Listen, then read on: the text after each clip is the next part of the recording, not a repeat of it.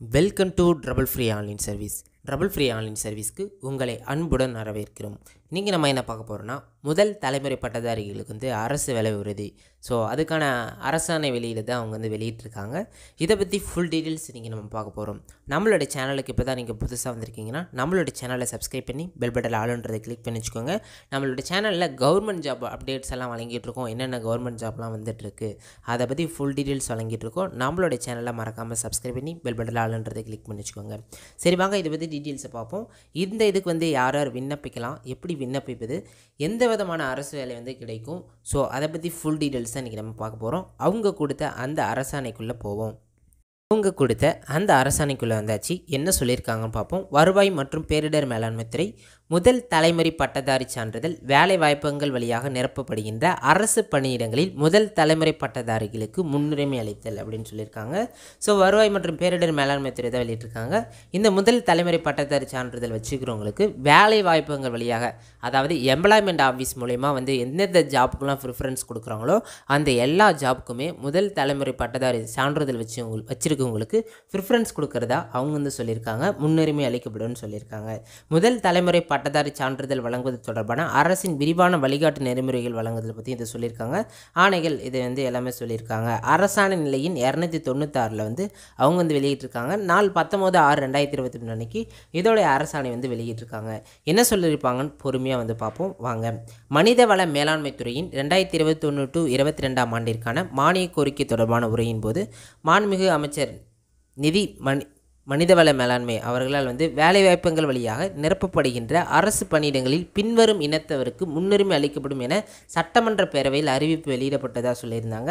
அதில் யார் யாருக்குன்னா கொரோனா தொற்றால் பெற்றோர் இருவரையும் இழந்த இளைஞர்கள். அவங்களுக்கு முன்னுரிமையும் முதல் தலைமுறை பட்டதாரிகள் இருப்பாங்களே அவங்களுக்கு வந்து முன்னுரிமை அளிப்படையதான்னு சொல்லியிருக்காங்க. தமிழக அரசு பள்ளியில் தமிழ் மொழியில் பயின்ற நபர்களுக்கு முன்னுரிமை அளிக்கப்படும் சொல்லியிருக்காங்க. ஸோ அதுக்கான அரசாணையை தான் அவங்க வந்து வெளியிட்டிருக்காங்க. முதல் தலைமுறை பட்டதாரி அதாவது அவங்களுக்கு வந்து முன்னுரிமை அளிக்கப்படும் சொல்லியிருந்தாங்க. ரெண்டாவது பாயிண்ட் என்ன சொல்லியிருக்காங்கன்னா மேரே ஒன்றில் படிக்கப்பட்ட அரசாணையில் ரெண்டாயிரத்தி பத்து டு பதினொன்றாம் கல்வியாண்டு முதல் இதுவரை பட்டதாரிகளே இல்லாத குடும்பத்திலிருந்து ஒற்றைச்சாளர முறையில் தொழிற்கல்வி பயில தேர்வு பெற்ற மாணவர்களுக்கு சாதி பாகுபாடின்றியும் வருமானத்தை கணக்கில் கணக்கில் எடுத்துக்கொள்ளாலும் கொள்ளாமலும் அம்மாணவர்கள் செலுத்த வேண்டிய கல்வி கட்டணம் முழுவதும் சில நிபந்தனைகளுடன் அரசு ஏற்று ஆணையிட்டது. அதெல்லாம் சொல்லியிருக்காங்க.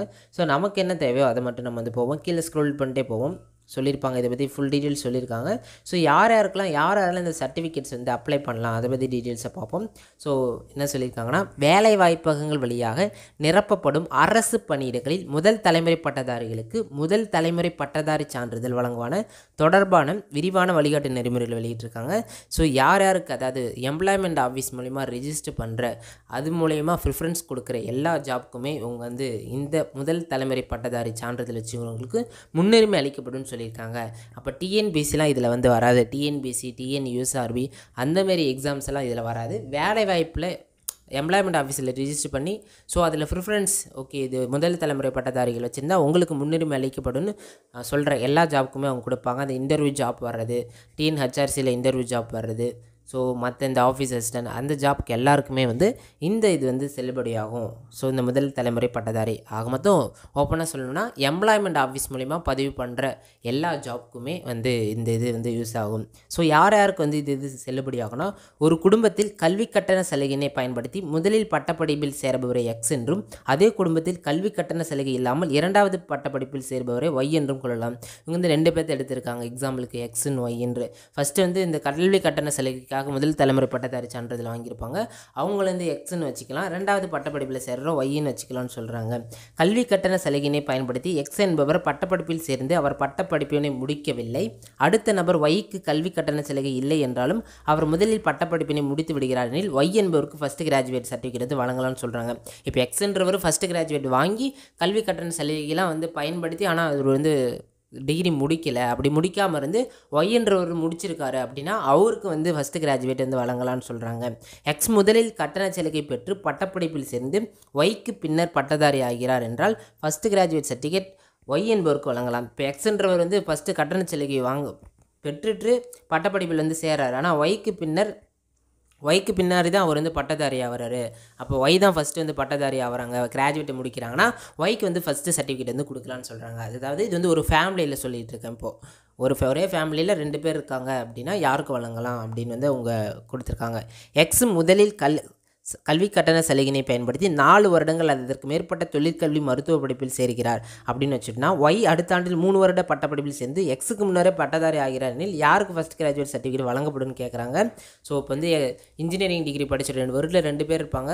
ஒரே ஏஜில் சப்போஸ் இருந்து இன்ஜினியரிங் டிகிரி ஒருத்தர் படிக்கிறாங்க ஆர்ட்ஸ் படிக்கிறாங்கன்னா மூணு வருஷம் ஒருத்தவங்களுக்கு இருக்கும். எக்ஸ்ன்றது நாலு வருஷம் வரும். அப்போ யாருக்கு வழங்கலாம்னா எக்ஸ் அல்லது ஒய் இதில் யார் முதலில் பட்டப்படிப்பு முடித்தவரோ அவருக்கு தான் வழங்கணும்னு சொல்லியிருக்காங்க. ஸோ அப்போ வந்து ஆர்ட்ஸ் படித்தவங்களுக்கு தான் ஃபஸ்ட்டு கிராஜுவேட் சர்டிஃபிகேட் கிடைக்கும். எக்ஸ் மற்றும் ஒய் இருவரும் ஒரே ஆண்டில் பட்டப்படிப்பு முடிச்சிருந்தாங்கன்னா தேர்ச்சி அடைந்த மாதம் அந்த மந்த் ஆஃப் பாசிங் யார் வந்து ஃபஸ்ட்டு பாஸ் பண்ணியிருக்காங்களோ அவங்களுக்கு வந்து வழங்கணும்னு சொல்லியிருந்தாங்க. எக்ஸ் மற்றும் ஒய் இருவரும் ஒரே ஆண்டில் ஒரே மாதத்தில் பட்டப்படிப்பு முடிச்சிருந்தா month and year of passing month and year ரெண்டுமே வந்து பார்த்து யார் ஃபஸ்ட் முடிச்சிருக்காங்களோ அவங்களுக்கு வந்து அந்த சலுகை வந்து வழங்கலாம்னு சொல்லியிருக்காங்க. எக்ஸ் முதலில் பட்டப்படிப்பில் சேர்ந்து பட்டதாரி ஆவதற்கு முன்னரே அல்லது பட்டதாரி ஆகி ஃபஸ்ட்டு கிராஜுவேட் சர்டிஃபிகேட் பெற்று வேலையில் சேர்வதற்கு முன்னரோ துரதிருஷ்டவமாக இறந்து விடுகிறார் அப்படின்னா அதை வந்து ஒய்க்கு வந்து வழங்கலாம். அவங்க வாங்கி இது வேலையை வந்து பயன்படுத்தலை இறந்துட்டாங்கன்னா ஒய்ன்றவங்களுக்கு வந்து சர்டிஃபிகேட் வந்து தரலாம்னு சொல்லியிருக்காங்க. அண்ணன் தம்பிகள் அவர்களுடைய மனைவி மகன் மகள் ஆகியோருடன் இணைந்து ஒரு கூட்டு குடும்பமாக ஒரே வீட்டில் சிக்கும் பட்சத்தில் அக்குடும்பத்தில் முதலில் பட்டப்படி முடிவதற்கு ஃபஸ்ட் கிராஜுவேட் வந்து சர்டிஃபிகேட் வழங்கலாம்னு சொல்லியிருக்காங்க. ஒருவருக்கு first certi first graduate certificate வழங்குவது தொடர்பாக அதே குடும்பத்தில் மற்றொருவர் ஆட்சேபனை செய்தாலோ அல்லது நீதிமன்றத்தின் நாடுதலோ அத்தகைய நேர்வுகளில் மேற்கொள்ள வேண்டிய நடவடிக்கை என்னன்னா வரிசை நாளில் வழிமுறை மேலே வந்து பார்த்த மாதிரி அவங்க வந்து சொல்லியிருப்பாங்க.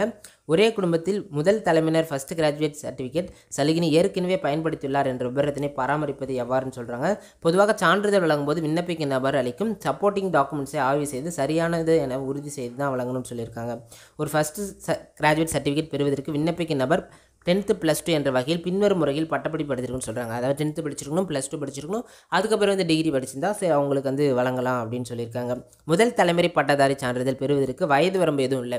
நீங்கள் எந்த வயசில் வேணால் வா வாங்கிக்கலாம் அப்படின்னு சொல்கிறாங்க இதுக்கு எந்த ஏஜ் லிமிட்டுமே கிடையாது. முதல் தலைமுறை பட்டதாரி சான்றிதழ் பெறுவதற்கான ஆண்டு வரையறை கிடையாது.